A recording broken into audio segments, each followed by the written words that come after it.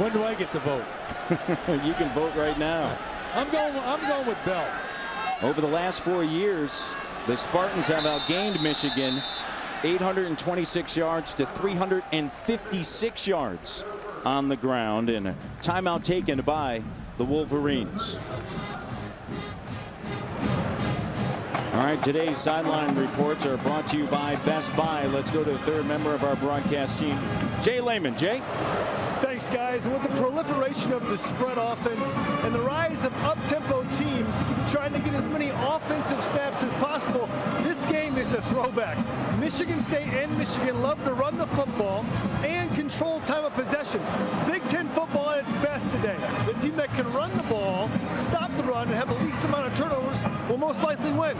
Coach Mason, you would have loved this game. Uh, you got that right. I like the line up there and it's Big Ten football. It's October, and let's line up and see who can block and who can tackle. Although Michigan does run the ball a little bit different than Michigan State and a lot of other schools around the country. Well, they do, but one thing I noticed, their offensive line plays like an I backfield line. They come off the ball. Gallon on the near side. Gallon up to the 40 and a brought down. Max Bullough has to track him down from behind in a 22-yard pickup.